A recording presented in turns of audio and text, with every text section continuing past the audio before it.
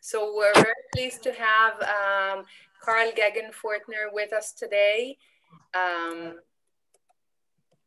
um, Professor Karl Gegenfurtner uh, did his PhD in experimental psychology at NYU under the supervision of uh, George Sperling and John Krauskopf. Uh, he did a postdoc in Professor um, Anthony Movshon's lab at NYU. Uh, he was a professor for biological psychology at the Otto von uh, Guericke University at um, Magdeburg and is now a professor of psychology at the University of uh, Gießen. He has been awarded numerous prizes and awards. He was the president of the Vision Sciences Society. Served as a, on the editorial board of various vision, perception, neuroscience, and psychology related journals as Perception, Journal of Vision, Visual Neuroscience, Vision Research, and others. He published hundreds of papers, many in top leading journals, including Nature, Nature Neuroscience, Current Biology, PNAS, and others, and reviews in Trends in Neuroscience, Nature Neuroscience reviews, and others. He's got hundreds, uh, thousands of citations. His research uh, focuses on understanding information processing in the visual system, looking into the relationship between low-level sensory processes and high-level visual perception and cognition. And although much of his research is on eye movement patterns today, we will hear about another line uh, of research in his lab that has to do with color vision. We're very pleased to have you in our seminar, so uh, welcome. Hmm?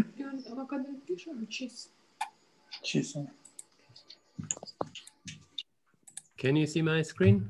Yes. Okay. Well, thanks a lot, Sharon, for the nice introduction, which is a nice way to say that I've gotten older. that's, uh, not what I meant. and I know. And thanks for the invitation. This is really my this is my first visit to Israel, and I'm sure it's not going to be the last. I'm very grateful to be able to pre- to present some work here and talk about the colors that you can see here to the left and the objects the colors make up that you can see here to the right. I would like to start my talk with this question, why color, with a little bit of advertisement for color vision research. And why is color so cool? So first, some of the most eminent scientists, such as the ones shown here, have laid the groundwork. Young, Helmholtz and Maxwell really established human trichromacy and with it, the basis for adequate color reproduction and the whole standardization process is by the International Lighting Commission, the CIE, that basically allow us to view uh, colored images over the internet, for example. And the second point is, of course, that some of the most stunning perceptual phenomena involve color, such as the movement shown here, which is modeled after a display that David Norvig put forward a while ago. You might never have heard of Hans Munker. He was a German scientist who came up with the most beautiful color assimilation demos, just such as the ones similar to the ones shown here. But his mistake was to publish only the explanation of the demos and not to show the beautiful demos itself and to publish it in, in German language. Even though it, it was in vision research in 1967, you could still publish in different languages in, in vision research. And of course, all the faces are really the same. But if that's not enough to convince you the color is really nice, it was just uh, remi be reminded of the color vision phenomena that stopped all work worldwide a, a few years ago and was on even on the headlines of the newspapers and everybody was just asking whether that silly dress was blue or white.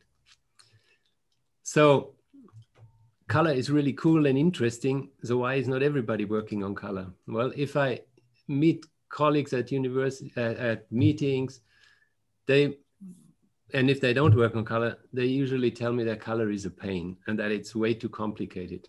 And in this slide, I think this slide illustrates very nicely why it is complicated. The slide just shows six different color spaces and nobody really knows how many there are out there.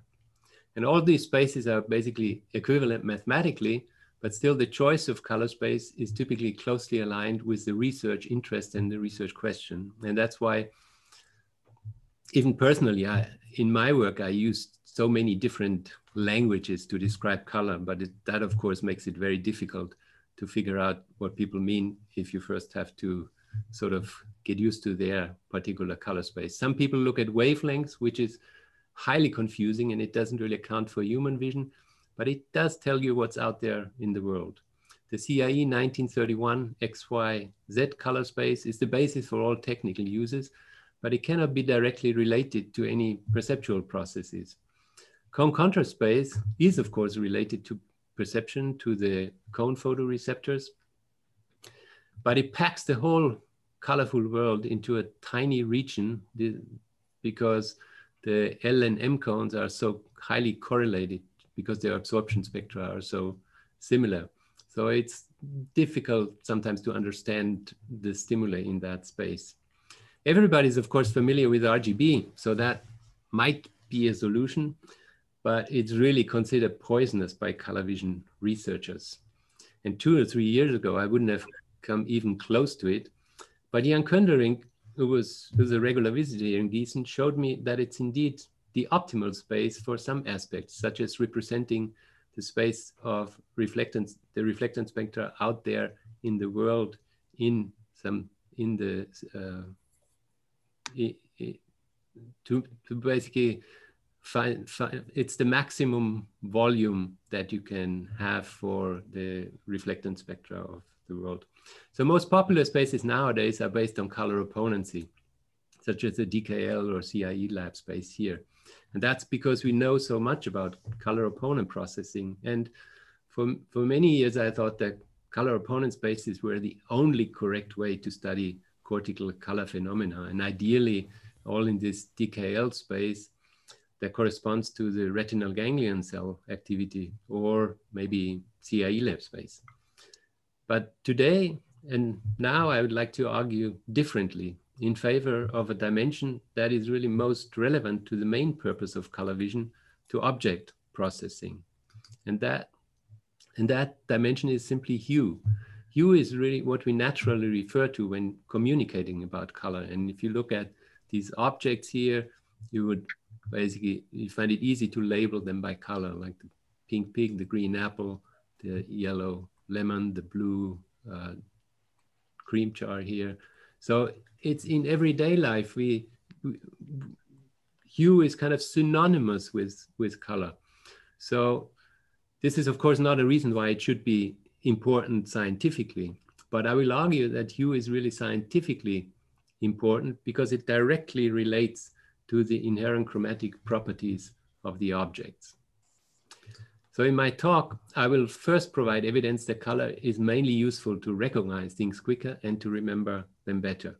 And I, I will repeat that sentence many times the, during the next hour. And if you want something to take away, that's it. Recognize things quicker and remember them better. But then I'll show you that the information about colored objects is really out there in the world and that our brains have neurons using that information to extract chromatic edges. And of course, a requirement to assign objects to, to assign colors to objects is of course that the color is stable under different illuminations, the property called color constancy. And I will present you with some new experiments that found close to perfect color constancy in a real world setting. And in the end, I'll spend a minute on what's next, the research that is going on in the lab as I speak, so to say. So I think this image illustrates my point quite well. Color really allows us to discriminate uh, different objects fast and effortless. And here I've taken this image of some flowers and leaves and background and decomposed it into a grayscale component and an isoluminant color component. So this image is the sum of these two images. Here, all the color is gone and I keep the grayscale. And here, all pixels have the same luminance and only the color is kept. And what you can see here is that if you have to tell the different petals here apart and tell them apart from the leaves and from the background, color information is really extremely helpful and you can segment the image very quickly. Here in the grayscale, you see a lot of fine detail, but it's much harder to figure out what, what's seen really on the image.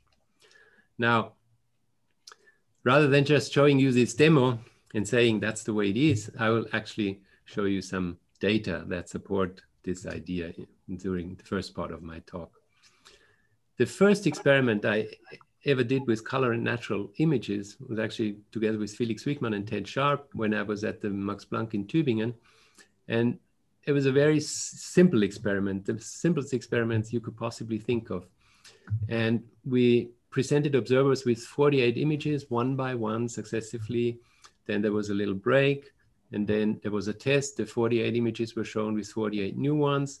And the observer just had to say, was it an old image? They've seen it before or a new image.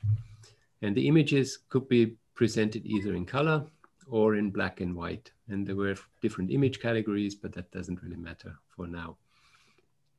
This graph shows the result. The exposure duration of the images in the presentation phase was also varied between 50 milliseconds and a second. And that's here on the x-axis. On the y-axis is the proportion of correctly recognized images, the hit rate. And what you can see here is that for 30 observers and average across all images, people of course get better when they see the image for longer duration. But there is this constant difference between 5 and 10% between the grayscale images and the color images. So that some people might say, well, 5 to 10%, that's really a tiny difference. Well, I think it's quite significant. And I mean, I think the difference becomes more, can be considered more important if you think about what else could you do with these grayscale images to improve recognition. So uh, a few years ago, Ben Backus, uh, I was talking to Ben Backus and he thought that, well, we could do the same experiment with stereo and then surely there would be also an improvement, similar improvement for stereo. We did the experiments and it just uh, didn't come up with these uh, kind of natural images. So stereo takes a little longer and the difference is not as obvious. You need to select uh, specific stimuli to see an advantage. So what's important, what we found interesting here, other than the difference was actually that the difference was already there for very brief presentation durations of like 50 milliseconds.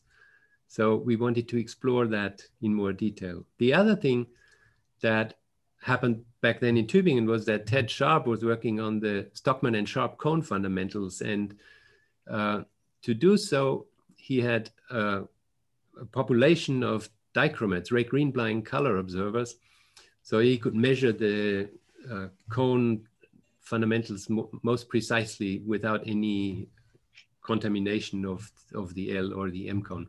So we figured that we would do the same experiment with dichromatic observers and then see how they would fare and how much worse they would be in this experiment.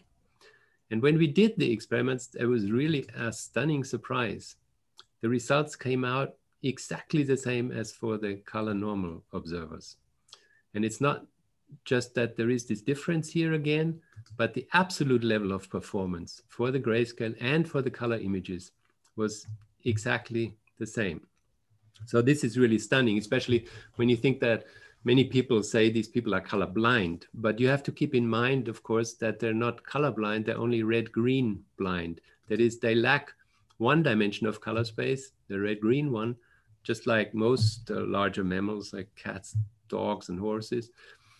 But they, they still have the residual color information from the blue-yellow channel. And the way they probably see the world is illustrated here. If you miss the L or the M cones, the world might, and 5% of the male human population do. The world might look to you like this. And these people have learned during the life to use that information in a, in a way that benefits, also benefits their memory capacity. And when you do the same experiments using these simulated images, then color normal observers fail to use that information because they they're not used to it. They haven't learned to use that information. But aside from this point, I would like to get back now to these first 50 milliseconds. That is really showing that color seems to be quite fast in extracting information from natural scenes. And of course, so we want to know what's going on in the first 50 milliseconds. And of course, we cannot shorten presentation durations even more because it would be a very frustrating experiment. Or at least in the memory experiment, we cannot shorten presentation durations, but we can, in another paradigm, a simple match to sample task where we show same images now but much briefer between 8 milliseconds and 64 milliseconds. And the image is followed by a mask. And then two test images are shown. One is the target image, same as before, and one is a distractor from the same image category, flowers here. And the colors of the mask are randomly chosen from the target and the distractor. So the color of the mask is not uh, diagnostic. And the spatial features of the mask are what way back then in 2000 seemed to approach sort of the natural image statistics quite well. So it's a, it's a very difficult task, but the information we can gain now is actually twofold. Not only can we explore these first uh, 50 milliseconds, but we can add an addition, additional conditions where we have the condition of where the presentation is in color and the test is in color, and the condition where the presentation is in black and white and the test is in black and white. But we also introduced the condition where we present the image in color and then test in black and white. And this is interesting for a reason because differences between these two conditions are more due to cognitive aspects. So if you see this image and you remember that there's something purple in this image, then later if the test is in color and you see something purple, then that's the image you saw before. But if the test is done in black and white, remembering that something purple doesn't really help you. The only way you can benefit here is really if you if color helps you to segment the image faster and actually to see what's on the image. So this would be the difference between these two conditions tells you uh, differences in the encoding or in the more sensory factors. So the question is, will color be helpful? Most likely yes, because we saw that before. And will it be more a cognitive or more a sensory effect? And the results are shown here in the next slide. And the answer is really, it's both. So at a very short presentation duration of 16 millisecond here, people are better for the color image images. And it doesn't matter whether the testing is done in color or in black and white. They're always better. So they encode the image faster. And as an observer, if you do the task and if you look at these, then with the grayscale images, you often have the impression that you look at some kind of cloudy image, whereas with the color image, you you actually see some of it, like the flowers or something. That's at 16 milliseconds. When the images are presented for 64 milliseconds, there's still an advantage of color, but now it is only there when the testing is also done in, in color. So when the, for the presentation in color and testing in black and white, the performance is the same as for the fully black and white. So this difference is due to some cognitive or memory component or representation. And basically what this slide really shows is that color in natural scene helps us to see things quicker and to remember them better.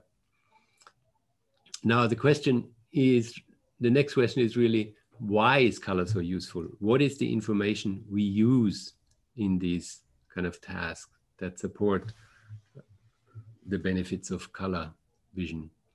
And to find out, I will present you next with some hyperspectral measurements of colors of natural fruit and vegetable objects. So we just took some, a lot of fruits and vegetables into our lab, measured their wavelength composition with a hyperspectral camera that is for each pixel on the object.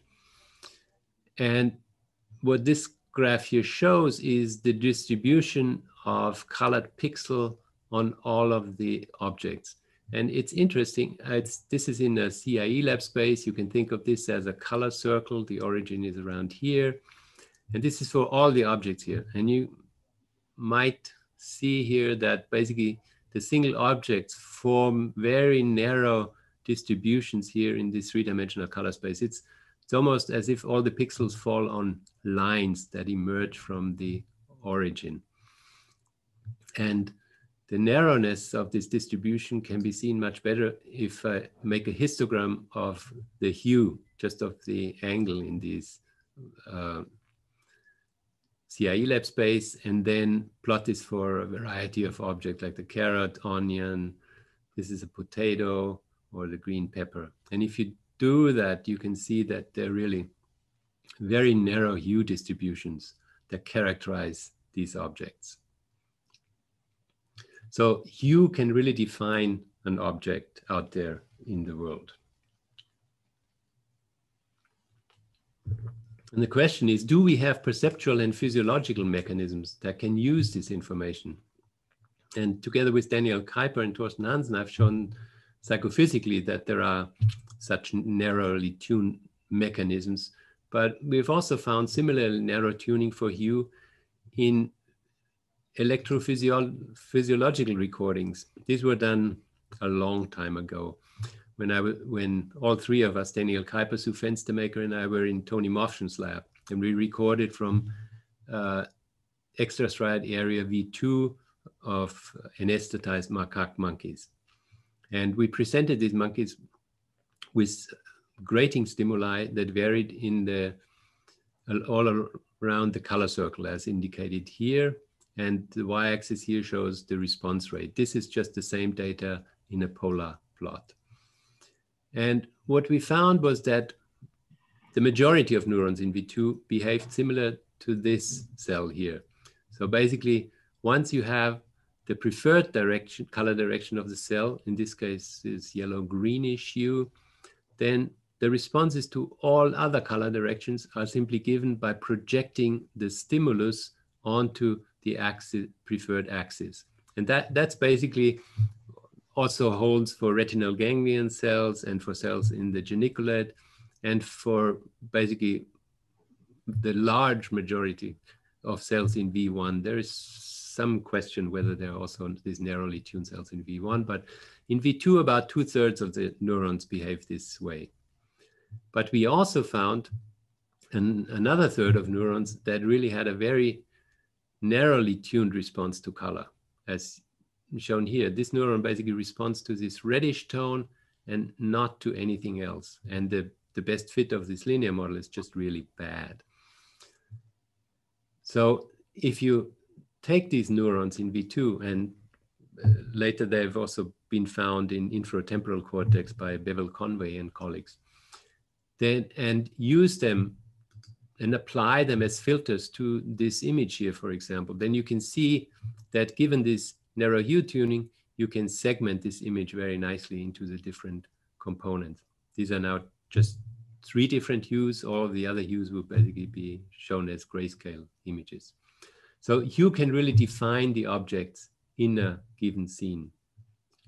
And now based on this image, we could argue that color is tightly linked to objects and that it's mainly hue that creates this link. But again, I'd like to do better than just a demo by looking at tons of images and specifying whether chromatic information can really add to this segmentation process. And for that purpose, Thorsten Hansen and I looked at lots of chromatic edges in natural scenes. And these are example images from Fred Kingdom's McGill calibrated color image database. And we used it to see what information is out there. And while you were probably scrutinizing these grayscale images, trying to figure out what they show, this is again much easier when you look at the color images here. I think that uh, must is quite noticeable. So what did we do with these images, with these calibrated color images? Well, we used edge detectors. We uh, decomposed the input image into a luminance image, a red-green image, and a blue-yellow image not shown here. And then basically we applied edge detectors to this grayscale image and to the isoluminant red and green image. And we, Thorsten Hansen, before he came to my lab, he did his PhD in computer science on edge detectors. So basically we used all possible edge detectors out there and it doesn't matter which one you use. Basically you find the luminance edges and for each edge you can quantify the edge strengths. And you do the same thing for the color edges. And then you can create histograms of these edges that are shown here. Here is the red-green edge strength and here's the luminance edge strength. And the histogram has a large peak here in the center at the origin, meaning that most of the pixels in the image are not an edge, which is of course trivial.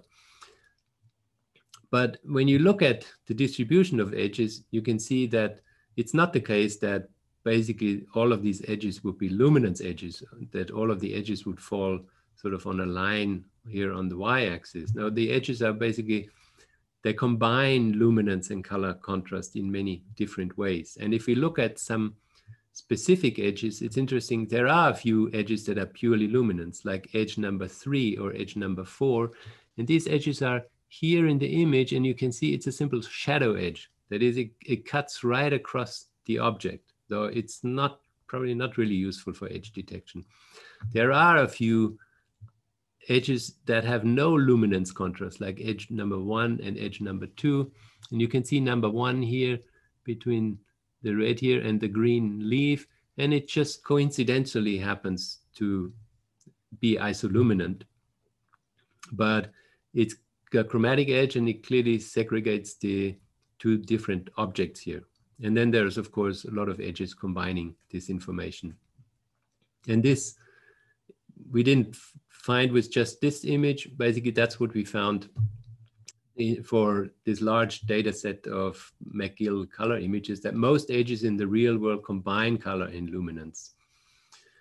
And we found that edge strength is statistically independent for color and luminance. So if you know that there is a color edge, you cannot predict the magnitude of the luminance edge. And if you know the magnitude of the color edge, you cannot predict the magnitude of the luminance edge. And most of the edges really coincide.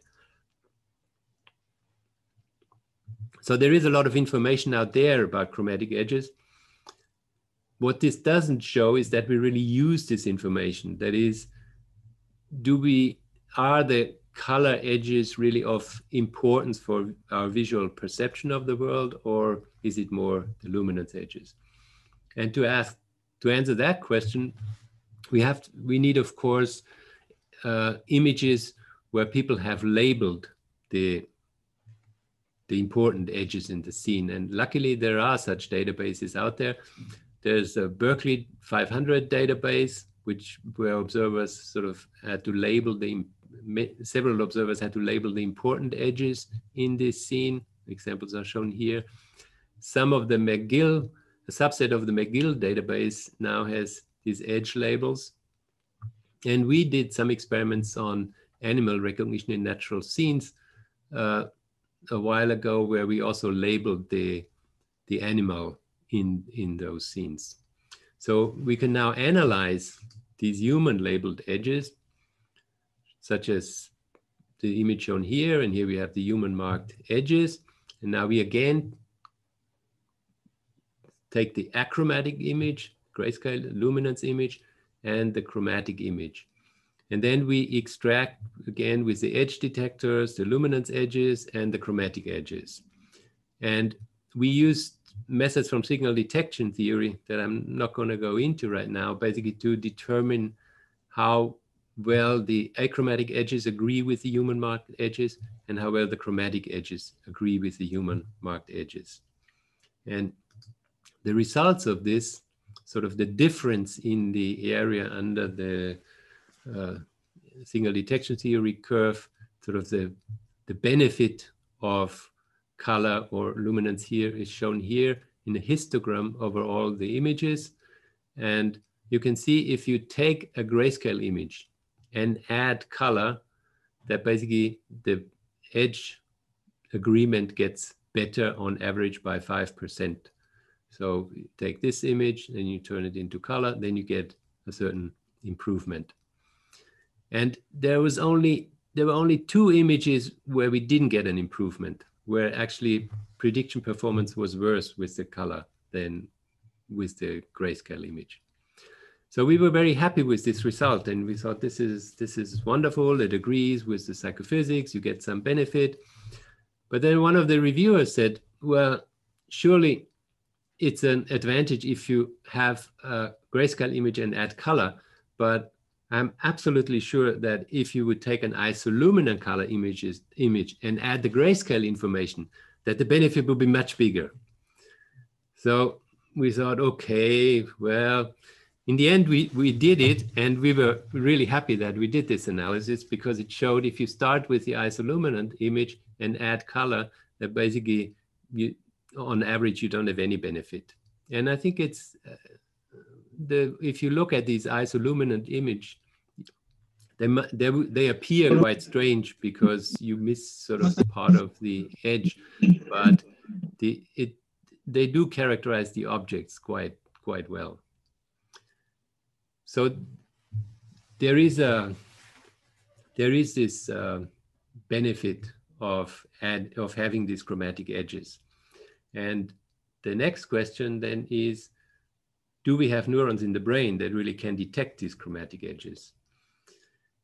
And I will now jump back in time again to 1996, the time when I was in Tony Movshon's lab, when we were investigating the question whether there would be neurons in the cortex that respond to color and orientation at the same time. Because back then, the dominant theory was that basically all the neurons that respond to color are not really sensitive to orientation. They don't code spatial structure. That was Livingstone and Hubel, but they didn't really investigate the tuning to all the properties for each individual neuron. So again, these are recordings from secondary visual cortex in macaque monkeys. And we even assigned sort of the cytochrome oxidase compartments to this uh, each individual neuron. Sue Fenstemaker did the, all this histology. And for each neuron, we measured orientation tuning, and you see this neuron responds a lot to a, this orientation, but not to the other. So it's highly orientation tuned. We also measured the color tuning using, again, colors on the hue circle. And this neuron sort of responds very well to this particular color, not so much to the others. And it responds better to color than to black and white. And we computed indices that show basically the orientation index and the color index. And what you can see here is that there are there isn't really a correlation between uh, color and orientation tuning. It's not the case that the neurons that do not respond to orientation show tremendous color tuning. It's more the opposite, but there certainly are cells selective for color and orientation. So these cells can be used by our visual system to extract these chromatic edges. And that was a, a long time ago, and we these recordings are very time intensive. But seven years later, Rüdiger von der Heydt in his lab did similar recordings in not just in V2, but also in V1. And they recorded from several hundred neurons and basically also found that there's no correlation between orientation and color tuning. And there's basically many neurons that code orientation and color together. And just just a year ago, uh, Ed Callaway's lab published a paper in Science asking the same question. And they also basically, they, they now use two photon calcium imaging and they could record the activity of thousands of neurons at the same time. And what they found, it was again, no correlation between color tuning and orientation tuning. And there are many, many neurons that respond to color and are highly selective for orientation. Sort of these are neurons responding better to color than to luminance. These are neurons responding better to luminance. And the ones in here, that's basically the, the large population of neurons that respond to both color and luminance that uh, Bob Shapley and Mike Hawken were the first to point out that, that there is this large population of neurons that do respond to both. And back then in the old days of Livingstone and Hubel, basically, if the color properties were only studied in cells that did not respond to luminance. So you that would be a very selective sample. So, but basically these, these neurons tuned to color and luminance at the same time will be very useful to extract these chromatic edges and then with it, then uh, the objects in the scene. So it, it's these neurons exactly that can do this job of chromatic edge detection that we've previously identified in the natural world. Now, we can assign colors to objects. We can use color to segment objects, but of course, linking objects and colors becomes much more complicated when the illumination changes. And therefore, color constancy is really a very important prerequisite. And that's why I'd like to address color constancy in the final part of this presentation. And I will show you, use this opportunity to show you some new approaches to color constancy. Now, color constancy, of course, basically allows you to assign the same color to objects irrespective of the illumination. Now, this is the scene I've showed you before, now illuminated by a reddish illuminant, and you would still, especially if you would be immer would be in a room uh, where the whole visual field is illuminated by the reddish, it's still called the orange orange, the banana yellow, and even if the illumination changes, basically the colors of the objects don't seem to change very much. They sort of remain relatively stable. Even though, of course, the, the light that reaches the eye can change quite dramatically. And that is illustrated here when I show you both of these uh, different illuminations at the same time. Here the image under the reddish illumination and here under the greenish illumination. And this is not just rendered on the computer. We really produced this image in a, in a carefully controlled light box. And what you can see here is that the light reaching the eye here from the grapes, from the greenish grapes is actually has the same chromaticity as the light reaching the eye here under the greenish illuminant from the orange. So that there are these quite dramatic changes. And but we in our everyday life, we don't seem to have any problem with color constancy. I mean, we, we do assign colors to objects and that's not a big issue. But for people who have studied color constancy in the lab, they tended to find very low degrees of color constancy. And I've show, show you here how these studies developed over the last 30, 40 years. And these data are from a beautiful review by David Foster that was published in Vision Research in 2011, where he actually listed all these studies and the degree of color constancy they found. And you can see here that the first studies by Arend and Reeves, they basically, it varied between 20 degree and 50, 20% and 50%. So this is actually, this is very poor. And if our color constancy would be so poor, we this would lead to lots of erroneous color assignments to objects in real life. But when you look at this graph, and when I looked at this graph first, I thought, hmm, this is strange, really. Color constancy increases over the years, right? So in 85, we had like on average 40%, and now, well, in 2011, when David Foster published this, it was at 80%. So that's quite a dramatic change.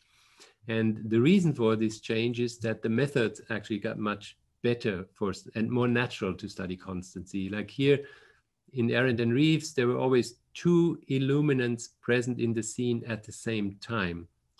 So in this asymmetric matching. And then later achromatic matching was introduced where observers had to adjust the color of an object that was part of the scene. It was uniformly illuminated until it appeared gray. And then even later, color, simply color naming and categorization was used. And you, you, you do reach very high degrees of color constancy. But when I saw this graph, I thought, well, what's missing is really a study that shows that you can, you can be perfect or close to perfect when you use all the cues that are available in real life. And uh, David Brainard had already shown in 1999 in a PNAS paper that the degree of color constancy really depended on the availability of different cues. So as you add different cues to a scene, the scene shown here, it was a real box with objects that an observer was looking through a pinhole that was with real illumination. What you can, color constancy improves and you get you got here in this not entirely natural scene to 80%. And this is also similar to what we find for other constancies like size constancy. Holway and Boring showed in 1941 that if you if you take cues away for size constancy, you can basically abolish it completely up to down to 10 or 20%. So it's very similar here for color constancy. and, but we're still here at 80%. And I thought, well, maybe we can do an experiment to show that with in the real world we can get to even better than 80%. And so we did an experiment in the real world in a real room with real objects. So we had actually four, di five different rooms, four different illuminants and one neutral room. And the illumination was varied simply by putting colored filters on the windows. So it's really like very pinkish or reddish colored foil that we put in front of all the windows in the room. And that led to large changes in the in the measured chromaticities of these objects. And I can see if you look at, for example, this sort of greenish sweater uh, that looks greenish under the neutral illumination, it really can change quite dramatically under the experimental illuminance into brownish or even blue. And the question is when the observer is in the room, would the color change too? Now, the, uh, even though I show you the objects here, basically what we did was we had 17 observers and they brought in objects they were highly familiar with. And as soon as they brought the objects to the lab, we took them away from them and locked them away in a closet. And they saw the objects uh, only again when, when they were finished with the experiment. And what we asked our observers instead when they were in this room with this colorful illumination was to pick the color of the object out of these 1,325 different Munsell chips. And they, for the experiment, the Munsell chips were not that systematically arranged. So, of course, whatever the observers choose, I mean, you would not expect them to get the right chip at random. But even if you know the Munsell catalog, those chips, like in these, for example, in these three three or four uh, bowls are relatively similar. And so when I did the experiment trying to find the chip for my orange sweater, I, I, was a lot, lot of sweat. The and but the results of the experiment were quite stunning, and they're shown here. Now, if people are perfectly color constant, they would pick exactly the same chip out of those 1,325 chips under each of the experimental illuminants. And this shows here that in about 50% of the cases, that's what they did. They found the, exactly the chip that they had selected under the neutral illuminant. And if you relax the criterion a little bit, if you just look at, at basically at the top seven neighboring Munsell chips. That, basic, that is basically the neighboring Munsell chip in every dimension, hue, chroma, and value. And you find that they're, that they're above 90%, and for the bluish illuminant, even at 100%. And the, the probability of getting this result by chance is, is essentially zero. This shows, this shows you just, for example, the, the hue error and the chroma error. And basically, one hue step here, that is the neighboring Munsell chip. If you, if you put two Munsell chips that are neighboring in Munsell space next to each other, they look quite similar, but you will be able to tell them apart. But once you add some memory component to it, it becomes extremely difficult. And the same thing here with chroma, which you can think of as saturation.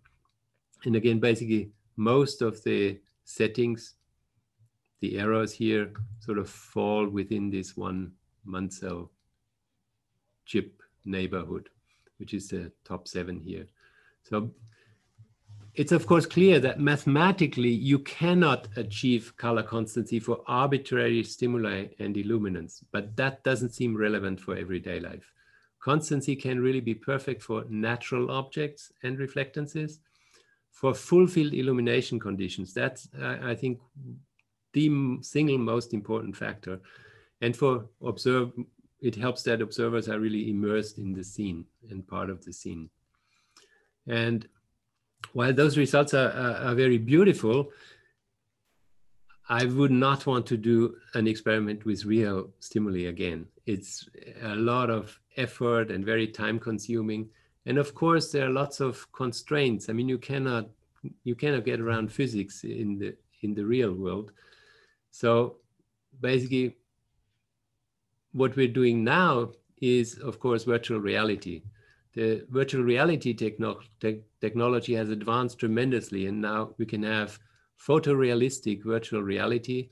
And we created, for example, this sort of indoor scene. We also have an outdoor scene, and then we can easily change the illumination. And for example, the, we have paradigms where the observer has to adjust the stimuli, stimulus here to be achromatic or to match a previously seen stimulus, or they have to pick, there are several of these lizards in the scene and they have to pick the one that looks gray. But then of course we can manipulate here so that the local surround stays the same. And this is basically what it, what it would be the adequate local surround under the, under the yellowish illumination. And the nice thing is that with, with these computer simulations, we can generate millions of these images. And we can then feed them into deep neural networks as ground truth for achieving color constancy. And that's what that's sort of close to being submitted. And that really shows that you can have deep neural networks that are very good at color constancy and that have a color representation similar to the human representations of color. And with that, I would like to thank my students, postdoc and colleagues who over many years taught me nearly basically all of what I know about color.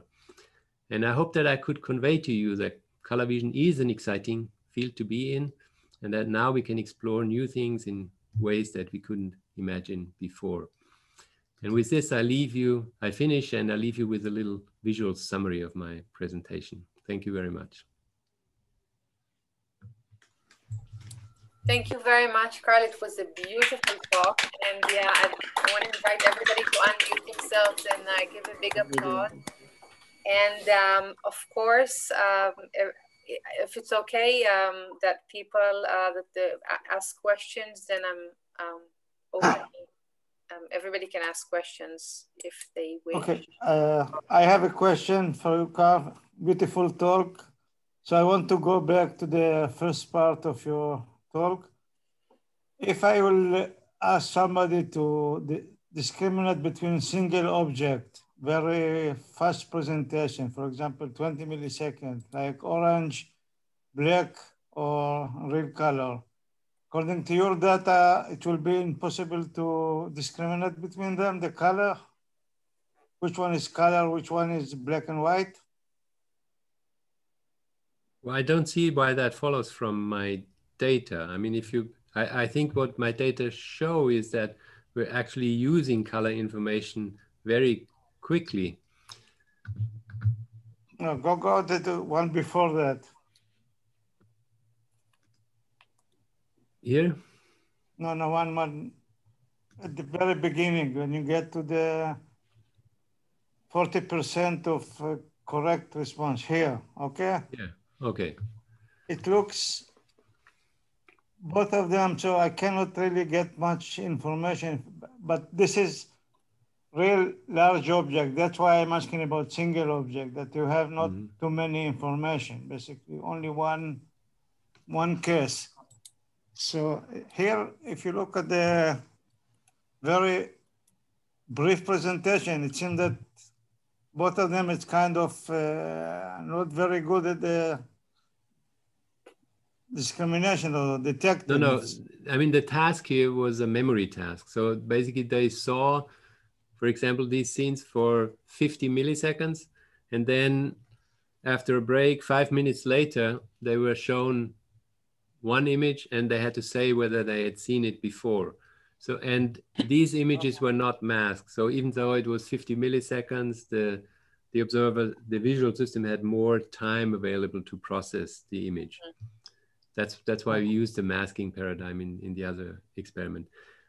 The okay. question, if you present images, if you present single object images very briefly and ask the observers whether the image was colored or black and white is an interesting one. And I'm not sure that anybody has done that, at least not that I, I know of.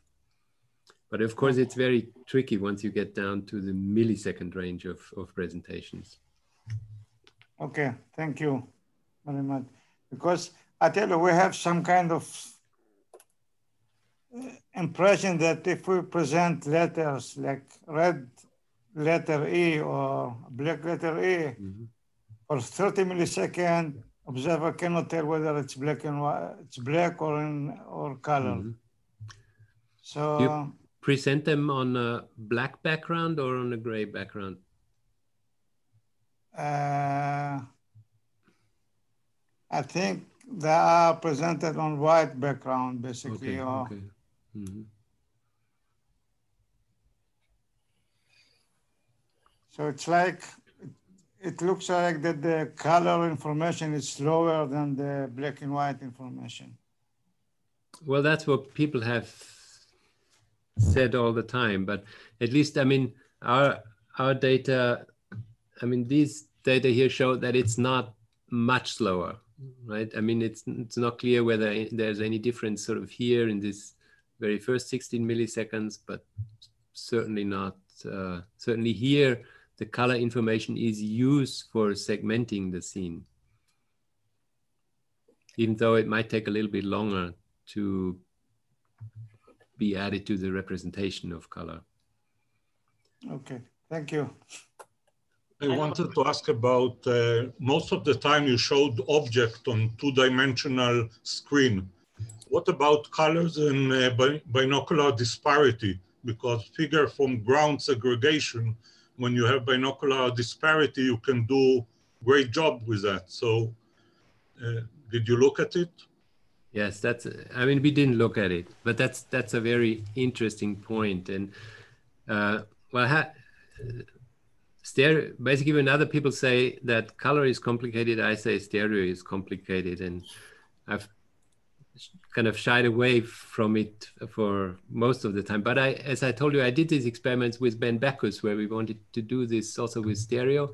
And at least for these very short presentations, we didn't find, when, when we used, we had a stereo camera and took natural photographs of natural scenes and there wasn't really a, an effect of, of the stereo for that. You really need to come up with artificial stimuli to make stereo useful very, very quickly. But of course, if you talk about segmentation, then binocular disparity is be really helpful, and it's it's an interesting it's an interesting question, but I don't know the answer. One other question. Uh, you mentioned a lot how um, with, with color you uh, you improve your discrimination of objects and everything but in this case every subject tested it's a person that has been 40 years with his brain tuned to distinguish and to memorize these things so what would happen if theoretically you have this this subject that doesn't distinguish color never learned to distinguish color from birth he doesn't have cones and suddenly you give him this memory test with color as a theoretical experiment. So could they have different cues that would distinguish the same the, uh, the, the same distinguish, distinct, distinctions we make with color? It, I think it's more of a philosophical question, and you can think of all sorts of possible answers, but it's uh, of course we have learned to use color as as a cue, and I think a, an interesting point is it's it's not exactly what what you asked for, but I think it's interesting with these dichromatic observers who have learned to use the dichromatic color information and to get a benefit out of it. Whereas when when we are presented with these images, we're not really better than for the grayscale images. Now, would there be an improvement if these colorblind that have been 30 years learning to distinguish the world with their own cues, and now you give them the other channel that they're missing, or this red, green light, now yeah. would they improve after 40 years of seeing the world some somehow or some way? That is that that, that is a question that has actually uh, been the topic of a lot of discussion in, in recent research because it's you can actually with mice you can do gene therapy and add a third photopigment to the retina hmm. and the Neitzes have actually done similar things with dichromatic monkeys but it's not well at least the way i see it it's not entirely clear that these monkeys would then use the the information on the red green axis in the same way that a visual system would that has developed with it Right. Well, the brain is plastic, so if you don't have, if you never learned to see red, and then suddenly you put yeah. that input, then your brain is not tuned to see that. Yeah. But I, I think with, with respect to uh, this red green blindness and, and cures for red green colored vision deficiencies, I think this slide should convince people that there isn't really much pressure on them. I mean, at least for this in the natural world, there are computer displays where it's because there's no shading information and nothing else where the the displays can really be very difficult to see for uh, color deficient observers. But the nice thing now is that there's on the internet there are simulations of uh, color blindness, and you can just put your website or whatever you want to show to people through it, and then you will see whether they'll still be able to distinguish these colors. Thank you. Um, I also have a question about um, well, it seems if color is used for image segmentation, then that would not be only for foveal vision, but rather across the image. So I assume that it would be more related to, let's say, lower spatial frequencies than the information available at the, available at the fovea. At the fovea. Um, but then, uh, but then color is usually uh, related to foveal vision. So, um, and also we know that most of the cones are um, present in the central uh, part of the retina. So I want to ask how, I mean, to reconcile this, whether it's really something that is some kind of a spatial integration or all over the image, or rather more related to central parts of the uh, visual image. It's an interesting point, and the first I would like to disagree with uh, your main assumption that color is really constrained to foveal vision.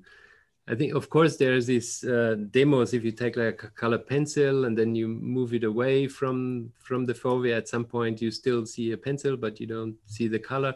But that just means that the acuity is not as good for color as it is for for grayscale. And also, I mean, the there are some technical constraints on the contrast you can achieve in the chromatic channels. But uh, Thorsten Hansen and I did some experiments where we actually systematically tested that in a sort of a viewing dome where we could present color stimuli very far out in the periphery, up to 90 degrees.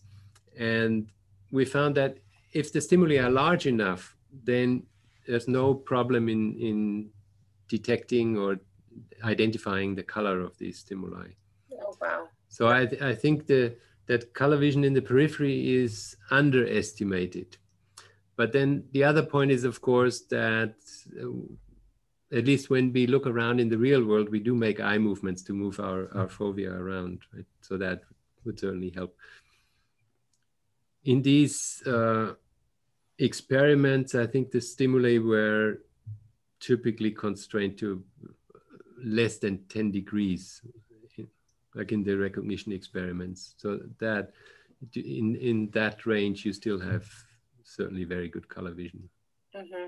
And do you think it is the case that um, although color is uh, mostly present um, in the center part of the um, image or uh, sorry in the visual process let's say then um, it, the processes are more related to uh, lower spatial frequencies rather than the higher ones? I mean it's or not? I mean do you think there is the same eccentricity effect or um, that we have uh, with respect to luminance?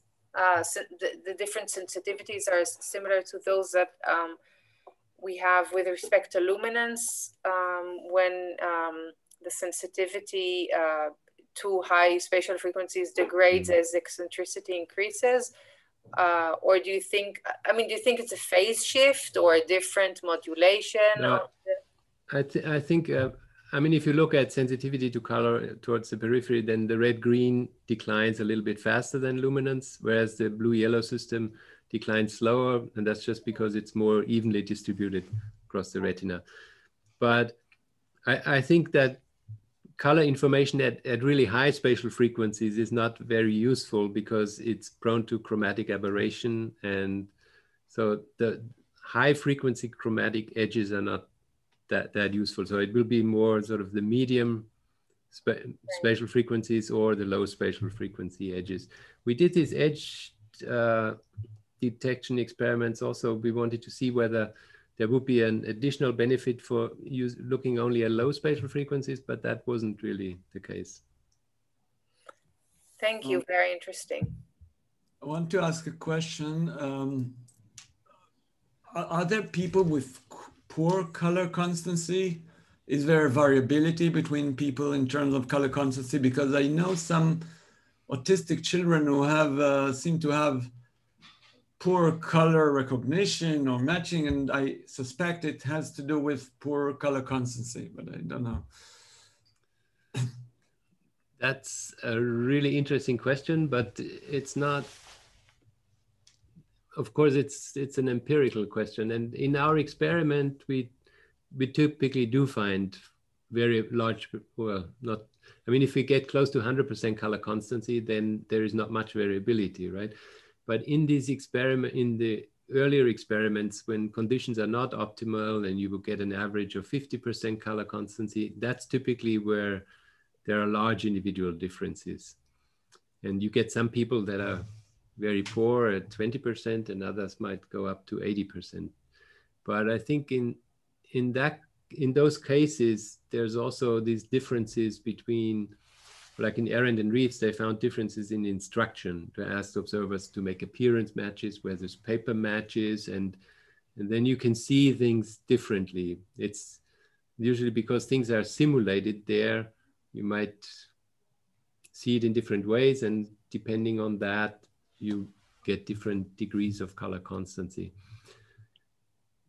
I think in, in the real world and and in really immersive experiments, everybody sees things in pretty much in, in the same way. You still might get differences and people are not really careful in giving, in doing the matching or giving the responses. With autistic children, that I mean, there are these, there are studies that have shown that they don't use prior information as much as other observers might. And there for so color constancy is acquired? It's something that develops through experience? I think it's, it, I would say, I would claim that it, it develops as color vision develops, that you basically find it very early on. There are some, there, were, there are some developmental studies, but I don't know the details now of what age range people find color constancy. Hmm. The problem is that color naming comes relatively late. So children can discriminate colors and see colors, but it takes them two or three years to, to give the proper names for some reason. Uh, is there an indirect way to get to, to measure this, not by naming? Um, by some eye movement or something to, to see if they, I don't know. But yeah. I think Marco Nardini did some studies. So. Okay, thanks. Um, there's I have a question. Sorry, I, I have a question. Yeah, okay, and uh, the masking experiment, the result was very interesting for me. Uh, so my question is that uh, it, it, the, as, as, far as I remember, the, the, the difference between the chroma and the chroma uh, starts around 30 millisec, right? 25, 30 millisec. So uh, my question is, uh, at which point, at which actually stage of the visual processing it, it happens? Like it's in uh, V1 or LGN or even Retina? Uh, do you have well, some I. I can only, I can only yeah. speculate. I would, I would think that this is, this is V1 and this is inferotemporal cortex and this is in between. But that's wild speculation. Why why are you are saying that? Well, because here, I mean, it's it's mainly due to segmentation processes and like chromatic edge detection, and that that we do know that there is a neural substrate for that in in V1 and V2. So this is, I would say that this is early visual cortex. It's it's spatial information that is used here, that is extracted from the color information. And here it's sort of the representation where colors are already part of the objects. Mm, I see. So Thank you. Be at a later yeah. stage. Lovely. Um, there's um, another question in the chat um, about um, whether, um, what is the impact of developing cataracts on color constancy? Um, if you have any idea. I have no idea. Okay. and and then uh, I mean, it makes color vision in in general difficult, as it makes all of vision difficult, right? So I I would I would say that color vision would be affected in the same way. There's no, I don't see any reason why it would be affected more than the other aspects of vision or why it would be affected less? Okay. It's something that develop, it's something that just comment? Sorry. Can I just comment? Um, I had uh, cataracts removed from one eye a week ahead of the second eye, and my whole color spectrum was completely uh, different. In fact, I complained a lot about the terrible yes. Kodak photography effect of removing the cataract and putting in the new lens. Yes. And Jack. actually, after about a couple of weeks, I adapted back to the previous spectrum. Uh, I mean, it was all that the colors were nicer muted with my cataracts. The, Jack Werner has done beautiful experiments of that sort, where yes, he, yes. he studied the time course of adaptation after the operations. And I mean, basically in general, color, color vision will benefit from cataract operations just because you don't have this colored filter anymore. Yes. But, um, I quite to... liked the color filter. It made, it made colors much more subtle in some ways but we're able to maintain color constancy even with this warpage due to it being a slow process. So there's obviously some rebalance along the way. Um, there's some, some, some plasticity that remains even later on because the, the cataracts don't suddenly develop. It's something that happens gradually. And for all of us, um, I guess the, the crystalline lens is constantly changing. Um, and together with that, we're able to maintain color constancy. So I'm assuming there's a there's a rebalancing act all the time between our spectrum or the way we process those colors um, as the crystalline lens um, degenerates. Is that is that possible? We do seem to adapt to this sort of illumin constant illumination changes very well. There were some experiments where people had to wear even like red filters for for days on end when I don't know, Steve Engel or someone who did that. And they found that after days, people really were able even to adapt to these filters. Um, thank you. There's an anecdote here in the chat that says, uh, re with respect to the age um, or the development of color constancy. So Joshua Solomon is writing at the age of two. My yeah. kid asked his grandparents why they got a new deck chair. It wasn't new, but he was looking at it under a sodium light. So maybe that means that at this age, it, it's still not, there's still, it's still developing. But there are these uh, low pressure sodium lamps that are basically monochromatic. Mm-hmm. So then you really lose all the color information, and then of course you cannot have constancy anymore. Mm, That's I when see. everything breaks down. Because it's monochromatic anyway. Okay. Yeah. Um, and there's another question. Um, in the perfect constancy uh, experiment with personal familiar objects, is there any Q loss between real object and the Munsell chips?